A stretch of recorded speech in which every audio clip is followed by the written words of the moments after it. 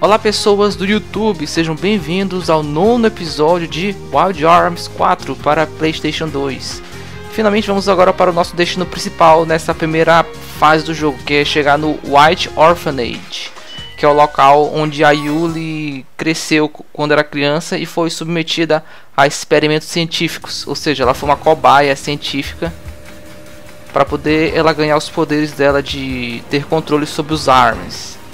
E é por, causa, por conta desses poderes que os vilões do jogo estão atrás dela. E a Raquel fala: Parece que isso aqui parece mais com uma com um complexo médico de larga escala do que com um orfanato. Fora isso, não parece tão incomum. Esse é o bloco onde eu vivi. Ou melhor, esse é o setor onde eu vivi. Pensando bem agora, Provavelmente eles queriam que ele parecesse com um orfanato do lado de fora. Então. Então as pistas para o meu poder não estão aqui, mas estão. Sim, eles estão no complexo de pesquisa subterrâneo, dentro de uma sala escura. Mesmo que eles tenham feito todas essas coisas conosco, os adultos os adultos usando um manto branco costumavam dizer: Nossa tarefa é evoluir a vida vida ou nossa tarefa é evoluir a forma de vida, melhor, nossa tarefa é evoluir a forma a forma que a vida tem. Como é que eu posso traduzir? Evoluir a forma que a vida irá tomar. Evoluir a vida pelas mãos do próprio homem, mas isso é absurdo. Mas foi isso que eles disseram. Ou seja, chegamos no Watch Orphanage. Nota que aqui atrás tem um baúzinho meio que escondido, mas não tanto assim. E obtive Travel Guide 15. Vou até logo ver o que é isso. Travel. Epa. Travel Guide 15. Hum... Ah, sim, aqui tá falando sobre as Gemstones. Quando eu uso uma magia do Arnold, que é a magia Blast dele, sendo que ele está num Rex elemental, eu, eu gero as Gemstones, que são basicamente itens que eu posso usar durante a batalha por qualquer personagem para atacar elementalmente os inimigos. É uma coisa que eu já expliquei para vocês no episódio anterior. Não é uma coisa que eu uso demais nesse jogo, essas gemstones. Eu prefiro usar as magias com o Arnold, já que ele é especialista nisso. Agora pra onde é que eu vou? Será que tem alguma coisa pra eu ver bem aqui? O monitor está quebrado. Mas parece que é, a energia do complexo ainda está funcionando. Hum. Vamos ver o que, que tem para cá. Ah, já está aberto aqui, menos mal. Nesse corredor aqui eu recomendo vocês ativarem o Accelerator, porque vai ter dinheiros para vocês coletarem, que é uma coisa sempre boa, né? E também eu já evito batalhas aleatórias indesejadas que possam ocorrer nesse instante, né? Toda vez que vocês pegam essa ampulheta, é, a barra de accelerator de vocês é resetada. Vocês podem continuar no tempo no tempo reduzido, como antes. Ah, que tá falando como eu fazer o stomp. Quando eu tô no ar, eu aperto o triângulo, melhor, quando aperto o quadrado, eu posso fazer um pound ground no chão, que eu posso usar para ativar essas switches que vão ter aos montes nesse dungeon aqui. E o Jude fala: Não está claro o que a evolução é, mas ela é tão especial assim? Especial não é bem a palavra. Evolução não é uma coisa que as pessoas podem simplesmente é, acarretar quando elas têm vontade. Por exemplo, digamos que nós precisamos de pessoas que tenham dois ou três. Peraí. É, digamos que nós, precise, nós precisemos de pessoas que tenham pescoços de 3 ou 2 metros de comprimento. O que, o que, que nós teríamos que fazer para fazer esse tipo de pessoa? Hum, do que, que você está falando? Isso é algum tipo de charada? Não. Ouça. Para fazer as pessoas terem é, pescoços com 2 metros de, de comprimento, você precisaria colocar todos em um ambiente onde pessoas com, onde pessoas com pescoços tão longos assim sejam necessárias e esperar um, um tempo bem longo. Faça isso e os pescoços de, é, Faça isso e os, e os pescoços dessas pessoas eventualmente vão chegar a 2 metros de comprimento. Provavelmente. E o que acontece se isso não, não ocorrer? Quem sabe? Geralmente, as, coisa, as coisas vivas são incapazes. Melhor, coisas vivas que, não, que são incapazes de evoluir falham em se adaptar ao seu ambi meio ambiente e acabam morrendo. Morrendo? É uma história que já foi repetida inúmeras vezes na história de Filgaia. Nós, humanos, também nascemos de processos evolutivos que continuam a ocorrer até na data presente. E as pesquisas para acelerar esses processos no futuro. Peraí. É, e pesquisas que, que e pesquisas para acelerar esses processos do futuro podem ter ocorrido aqui. É isso que que isso significa? Evolução artificial. Isso definitivamente é um pouco difícil de engolir. Agora vamos ver o que tem aqui. Hum. E aqui nós estamos. Isso deve restaurar a maioria da, das funcionalidades do complexo. Você é incrível, Arnold. Eu não sabia que você era bom com máquinas e coisas e tais. Bem, o que, é que você pode saber? O que, que é? Hum. É apenas que parece que esse terminal está me dando acesso a algumas coisas interessantes. Coisas interessantes? Deixe, esse, deixe essas coisas com ele. Ele é, ele é bom nesse tipo de coisa. Sim. Eu acho que isso é trabalho em equipe também. A, é, caractere alélico. Manipulação de genes, ribossomos, oligogênios, poligênios. Adaptação ambiental, mutação, transição, nanotecnologia. Ha, mas que diabos? Eles realmente estavam pesquisando acerca de aceleramento de evolução. Parece ridículo, mas é justamente como o Yuli falou. Parece que realmente, parece que aqui realmente é um complexo de pesquisa para acelerar a evolução. Mas como é que eles poderiam alcançar tal coisa? Usando o vírus para alterar genes acelerar a evolução com, nanotec com nanotecnologia. Isso é difícil para é, um humano normal como eu de acreditar. Hã? O que, que você quer dizer? Colocando isso em palavras simples. O processo de evolução que eu expliquei alguns minutos atrás é chamado de seleção natural. É uma teoria comum que já já era já é já é feita já é como é considerada como verdade há muito tempo uhum. com a seleção natural é, fatores é, fatores ambientais e outros fatores podem levar a algum tipo de seleção e exemplos reais de evolução são raros uhum. consequentemente um grande número de hipóteses evolucionárias já foram propostas uma delas é a teoria da evolução viral. Uhum. É, é legal que você está prestando atenção, mas você não precisa fingir que está entendendo. Ó. Oh. Yuri, você deve entender pelo menos um pouco sobre o seu poder. Mas já que ele é tão extraordinário, você decidiu, você decidiu que ao invés de nos contar por si própria, que seria mais fácil se nós aprendêssemos vindo aqui. Eu estou certo? Sim, eu sinto muito. Está tudo bem. É, é a sua maneira de nos contar sobre si mesma, não é? Bem, eu não sei tudo sobre mim. Eu não sei, eu não sei tudo sobre, sobre mim. Mas eu posso lhe dizer que o meu pai adotivo, que originalmente era um pesquisador aqui, me contou sobre esse complexo, me contou me contou essas coisas depois que esse complexo foi fechado. Eu acho que isso pode nos dar algumas pistas do, do poder do Jude. Meu poder. Hum. Então ativou ali o foguinho. Esse foguinho vocês vão usar daqui a pouco. Não se preocupem, vocês têm que vir pra cá e pegar uma dessas ferramentas aqui. São duas ferramentas diferentes. Não peguem a espada que não vai ser útil aqui. O que vai ser útil realmente vai ser esse Wonder Staff. Que aparentemente tem a mesma função da espada, mas não. Com esse, com esse bastão vocês podem pegar o fogo, assim.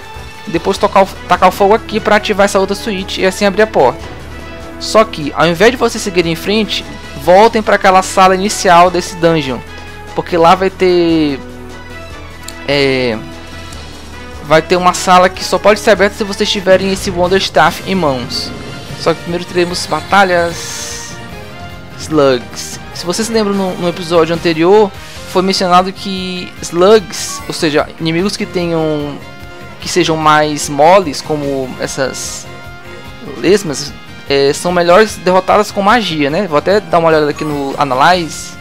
Ó, a fraqueza dele é a fraqueza dele é ataques mágicos, então eu acho que o ataque do Jude não vai tirar tanto dano assim, né? Exatamente, é muito pouco dano, então eu vou ter que realmente abusar um pouco dos outros personagens. A Yuli não pode fazer muita coisa, se ela tivesse com um pouco de FP ela poderia nos ajudar, mas eu acho que eu vou ter que deixar ela aqui, defendendo. Eu vou botar ele pra cá pra ele pegar umas, um, uns elementos pra ele. Choque ataque aqui com a Raquel, não deu muito efeito também. Realmente quem vai brilhar aqui nessa batalha vai ser o, o Arnold. Graviton. Oh, no.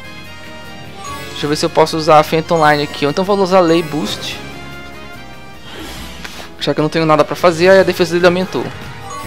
Aí agora sim eu vou abalar aqui o negócio. Ah, agora sim. Agora a Yuli finaliza com Material. Vou pular a animação que vocês já viram anteriormente. Beleza, se, se a Yuri tivesse FP no começo da batalha, facilitaria as coisas imensamente. Mais pra frente no jogo vai ter um acessório que quando a gente equipa em algum personagem, a gente já começa a batalha automaticamente com 25 FP. Isso vai ser muito útil para se eu quiser que a Yuli solte o material dela logo no começo. Mas isso vai ser mais pra frente no jogo, né? Então não, não adianta muito.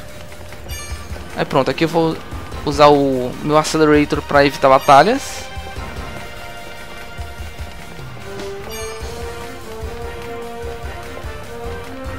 Só atravessar isso aqui sem problemas. E pronto, voltamos para a primeira área. Ou será que não? Ó, nós aqui temos brinquedos aqui para indicar que esse complexo ele quer dar uma aparência de ser um orfanato de fachada, mas na verdade ele é um centro de pesquisa que usa as crianças como cobaia, né? Pronto, é que vocês usam o Wonder Staff bem aqui que vai abrir essa portinha pra vocês. Beleza. Tô logo fazendo isso aqui pra, porque depois eu não vou mais poder voltar tão cedo nesse orfanato. Então é bom a gente logo completar essa missão. Aqui tem uma, uma baúzinho que só pode ser aberto com o Duplicator. Eu peguei Extra Challenge, que isso aqui depois eu vou explicar melhor o que, que é. Eu, não, eu, não, é um item que eu não posso usar agora. Arctic Blade. Hum. Deixa eu ver o que, isso aqui faz. Aumenta a probabilidade de contra-ataques. Ué, é a mesma coisa? Do Gunstar Sign? Ah não, é, aumenta a critical hit e depois aumenta o contra-ataque. E acho que vou fazer o seguinte, vou colocar na Raquel, porque a Raquel é tão forte. Então eu, é do meu interesse que ela contra-ataque o mais frequentemente possível. Esse bicho estranho aqui, essa orbe estranha, é, eu não posso acessar ainda. Mais pra frente no jogo, isso aqui vai ser um chefe opcional que eu vou poder enfrentar, mas isso vai ser bem mais depois. Eu não posso ainda enfrentar ele agora, né? Então pronto, pessoal, eu vou voltar lá pra onde eu, onde eu estava, onde eu peguei o bastão e eu já volto. Então aguardem.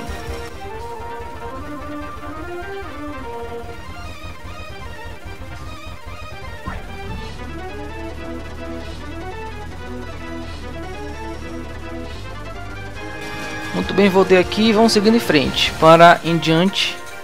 E assim nós seremos felizes para sempre. Atenção aqui nesse corredor. Nesse corredor vai ter um corredor alternativo vocês pegarem uns baúzinhos. Mas antes teremos batalhas novamente. Epa! Já que esses inimigos são mais vulneráveis a ataques mágicos, eu acho que eu vou usar minhas gemstones agora, né? Toma isso aqui pra você. É, não tirou tanto assim, como eu gostaria, né? O que, que a Raquel pode fazer? Ela só pode atacar, é o jeito. Pelo menos assim eu posso desenvolver minha barra de FP. Ou não. Agora onde é que tá a Yuli? Porque se ele estiver num lay point, já facilita a minha vida imensamente, né? Ah, ela tá no lay point.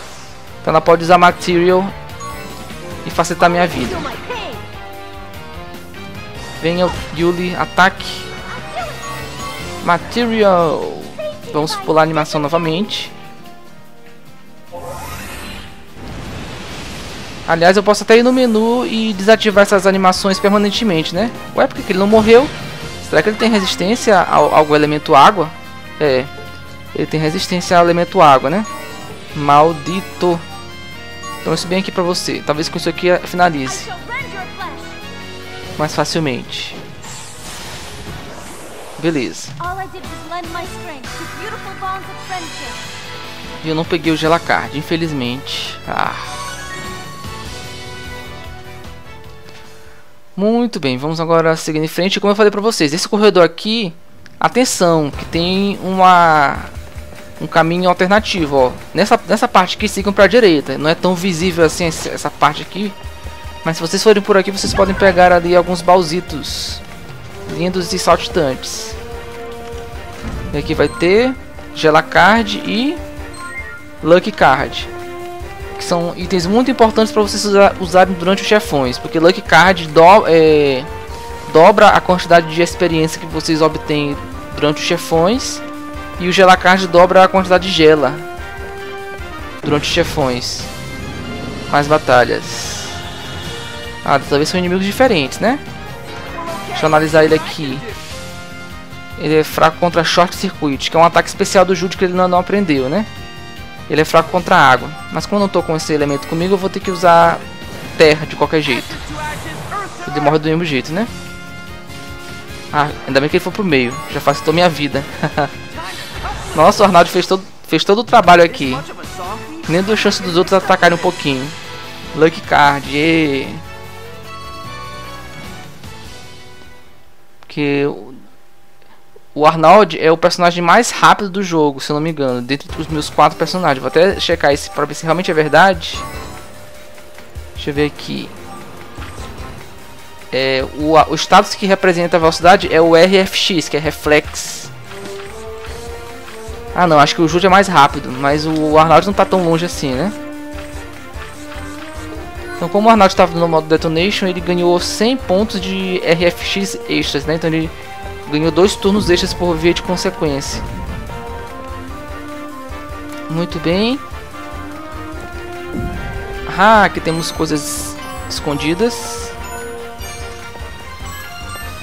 E aqui é o seguinte, vocês têm que novamente pegar o, a, o, aquele, aquela varinha de condão, né? Aquela vareta que deve estar em algum lugar aqui. Opa, eu devia ter pegado naquela sala anterior, devia ter carregado comigo. Cometi um erro gravíssimo aqui. Então, pessoal, eu vou ter que cortar o vídeo e voltar lá e pegar o maldito bastão. Então, esperem que eu já volto. Muito bem, voltei aqui. Dessa vez eu vim com o meu Flame Staff. Que é o seguinte, vocês têm que ativar os três, esses três negócios aqui ao mesmo tempo. Eles, eles precisam estar acesos simultaneamente para poder a porta se abrir. Então como é que vocês, vocês vão conseguir fazer isso? Vocês têm que usar o Accelerator para poder o fogo se manter por mais tempo enquanto vocês. Pronto. E assim abrir a porta. Eu cometi esse pequeno erro que eu devia ter trazido esse bastão comigo desde o começo, né? Mas eu falei miseravelmente em fazer isso, né? Acho que eu vou continuar levando esse bastão comigo, porque talvez eu precise dele novamente. Só que aqui realmente eu vou ter que deixar ele aqui, porque o chão é, é um nível diferente que é um side view. Nessa parte você tem que usar o point ground de vocês para quebrar o chão. De vez em quando usar o slide, se vocês estiverem presos numa cavidade intransponível. Beleza, seguimos em frente. Olha, em cima tem alguma coisa, né? Como é que eu chego ali?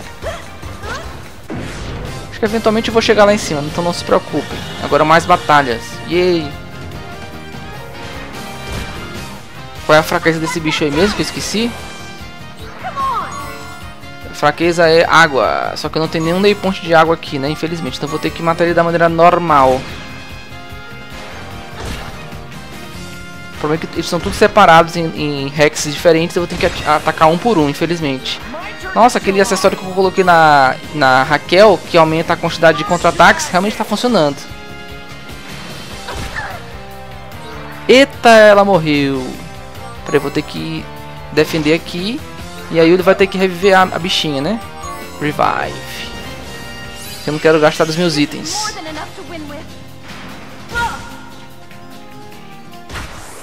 Ah, ele, ele deu contra-ataque, beleza. Eu obtive Mega Berry, eu acho que é um item de cura mais potente do que o Heal Berry, que é o que eu usava anteriormente. Aliás, meus personagens aumentaram bastante de nível, né? Eu acho que vou fazer o seguinte, eu vou ver aqui como é que tá o GC Graph deles. No caso do Jude, o que, que ele pode aprender adiantadamente. Joint Struggle ele já sabe. Rapid Guard. Aumenta a velocidade quando está em defesa. Interessante isso aqui, só que eu acho que não é tão essencial aqui. Class Level Up. Esse, esse, essa habilidade aqui é bacana. Item Steel, para roubar item dos inimigos. Só que eu também não tenho ainda suficiente. É, deixa pra próxima isso. No caso do Arnold, o que, que ele pode aprender? Shutout, essa habilidade aqui é muito boa para usar em chefão. Shutout é uma magia que faz ele é, proibir que o inimigo saia do Rex onde ele se encontra. Assim, basicamente eu tô prendendo o inimigo no Rex. Então evito que o inimigo se aproxime de mim se eu usar no momento certo, né? Bacana esse, essa magia dele. E agora o que, que aí ele pode aprender? Hum, Turn Shift. Olha. Eu posso trocar o meu turno com de outro personagem. Hum, interessante. Olha, adiciona 25 FP no começo da batalha. Isso parece ser interessante, só que eu não tenho ainda o suficiente. Eu posso tirar esse Sanctify, que não está sendo tão útil agora, né? E vou colocar esse FP Advantage, também não é suficiente ainda. Enfim, fica pra próxima. É Raquel, o que ela pode aprender? Poison Bite, Obstacle Smash, Red Zone. Ah, esse aqui permite que ela, ela haja imediatamente quando ela entrar em critical. Isso é muito interessante. Só que tá muito... Não tenho pontos suficientes ainda, eu acho. É, até que eu tenho, só que reduz muito meu HP, né? Enfim, deixa isso aí mesmo. Vamos agora seguir em frente para nossa aventura. Deixa eu ver aqui onde que eu estou. Se tem alguma coisa para eu conseguir aqui. É, tem alguns... Deve ter alguma coisa aqui atrás. Quer apostar? Ah, tem um baúzinho. Alter Parts. Que depois para eu upgradear a arma do Jude. Será que aqui atrás tem alguma coisa escondida? Eu acho que não, né? Isso é impressão minha mesmo. Agora vamos seguir em frente. Ah, pessoal, eu acho que agora vai ter uma luta contra o chefão, né? Eu acho que vou deixar isso pro próximo episódio para que esse episódio não ultrapasse, mas não, eu acho não sei se eu tenho tempo ainda. Talvez eu tenha. É, eu vou arriscar. Porque teve umas partes desse episódio que eu tive que acelerar o vídeo, né? Então certamente vai dar tempo de eu enfrentar mais esse chefãozinho básico aqui.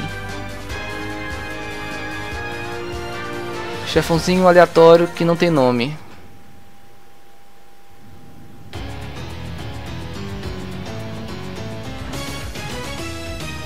De brinde nós temos um jumpscare. Esse aqui é um mutante, né? Eu acho que o nome desse chefão é mutante, se não me engano. Mas o que? Ele está funcional? Como é que isso pode ser possível? Agora eu me lembro. Agora é bem. Bem, eu lembro que alguém reativou o complexo. Agora é a minha culpa. Agora não é hora para isso, vocês dois. Se vocês ficarem discutindo, ele vai alcançar a gente. Toxic Breath. Ah, ele tá nos envenenando. O nome dele é Miscreation, né? Agora como é que eu vou chegar até ele? Acho que vou ficar bem aqui. Ah não, o problema é que ele fica envenenando os meus Rex. Isso não é legal. Primeiro passo para felicidade eu vou usar... Não, não posso usar ainda isso aqui. Carambas. Vou ter que aguentar esse, essa, esse Poison e vou usar Shutout nele para ele não sair de lá. Fique aí. Que assim você não vai me atrapalhar demais. Como é que ele vai ficar atacando o Jude? E agora? Deixa eu só ver aqui quais, como é que está os status dele. Ele não tem fraqueza, nem vulnerabilidade, nem resistência. Então realmente vou ter que matar ele da maneira tradicional mesmo, né? Primeira coisa que eu vou fazer vai ser sair daqui. vou para esse Rex aqui, porque quando ela tiver... Ela poder usar o material dela, ela vai... Quando ela, puder, quando ela puder usar o material, ela vai poder logo usar no Rex elemental. Agora no caso da Raquel, ela se move pra cá e ataca.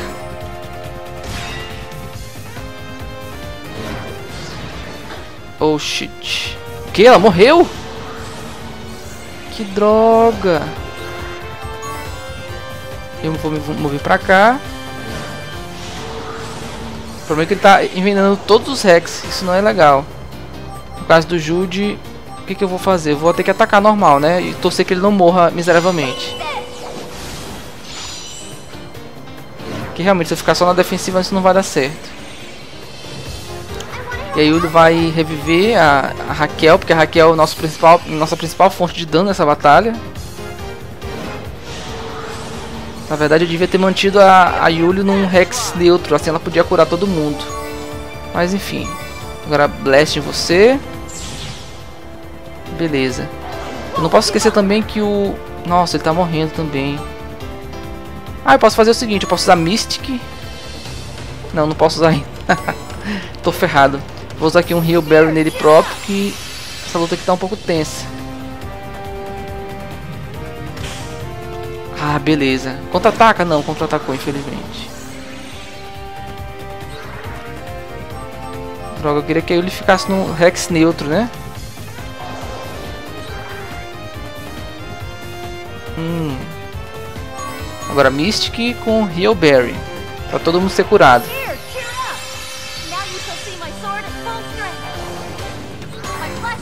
Pronto, ataca. Beleza. Consigo que talvez ele morra de uma vez. Ou ainda não. Ou consigo que ela ficar matando a Raquel. Isso não é nada justo. Eu não quero matar ela ainda. Eu queria usar Mystic nele. Pera aí. Vou usar Heal Berry nele de novo. Porque eu queria usar Mystic com Lucky Card. Só que eu acho que não vai dar tempo de eu fazer isso. Ela revive a Raquel novamente, pela segunda vez. Droga, não tava querendo matar ele ainda. Vou curar a Raquel pra não morrer da próxima vez. Eu não sei se é possível usar uma habilidade de FP duas vezes na mesma batalha. Eu acho que é possível sim. Agora vamos usar Lucky Cards pra todo mundo ganhar experiência extra nessa batalha. Que tá, eu tô merecendo, né? Ah, não, agora é a vez dele de morrer, né? Maldito seja. Novamente vou ter que esperar o turno da, da Yuli. É, parece que o efeito do shutout acabou.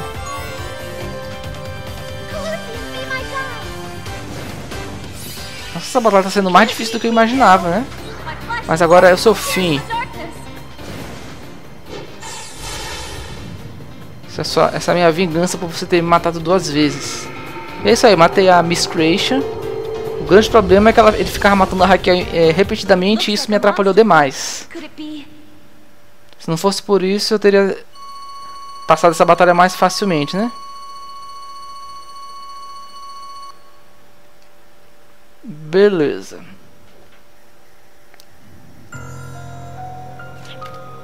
Mas o que diabos era aquilo?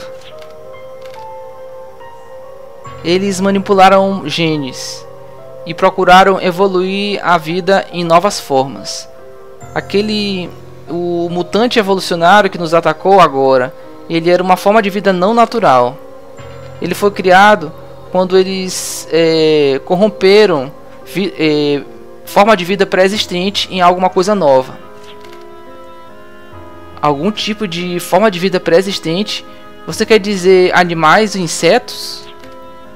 Ah, você não isso quer dizer também que esse complexo é, tomou uma grande quantidade de crianças, é, remédios amargos e dor intensa da, da reação imune. E fomos colocados na sala de operação muitas vezes. É, é assim que eu passava os meus dias aqui. E conforme o tempo ia passando, os meus amigos iam desaparecendo, um por um. E agora que o complexo está fechado, mesmo as crianças que sobraram, mesmo mesmo as crianças que permaneceram aqui provavelmente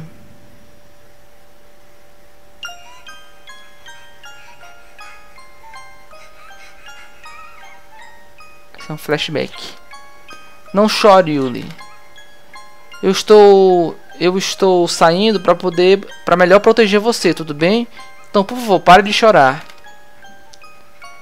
Não é apenas você, você tem que proteger não, é, não apenas você, mas eu vou proteger o mundo inteiro. Eu vou me assegurar de um futuro onde todos possam viver em paz. Eu tenho que ir agora. Por favor, não chore. Eu gostaria de ouvir você cantar, como você sempre costuma, costuma fazer. Se você cantar para mim, eu não me sentirei solitário. Então, por favor, Yuli.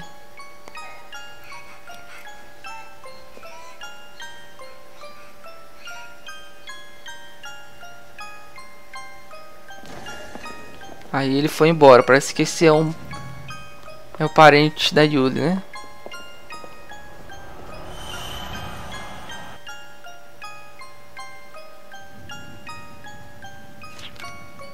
Yuli, o que é de errado? Você está meio que é, você está meio que desconcentrada. Eu sinto muito, eu estava apenas lembrando algumas coisas que aconteceram há muito tempo atrás. Bem pessoal, eu vou encerrar o episódio por hoje e vejo vocês depois no próximo episódio de Wild Arms 4. Quem falou foi o Sword Lunge, até a próxima. Falou!